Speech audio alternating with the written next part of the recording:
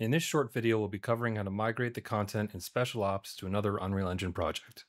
Just FYI, you shouldn't try to migrate to a project with an engine version lower than where you're moving from, so keep that in mind before proceeding. First, right-click the content folder and then click Migrate. Here, we're given the option to select the assets that will be migrated. For the purposes of this tutorial, we want to migrate everything, so we'll leave all of it selected. If you choose to migrate a selection of assets from your content browser, Unreal will automatically select any dependencies they may have, so deselecting things in this menu can lead to broken assets. Click OK, and then navigate to the content folder of the project where you want the Special Ops assets and click Select Folder. This may take some time.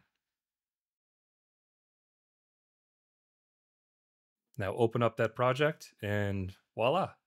You have successfully migrated your big, medium, small pack from one project to another.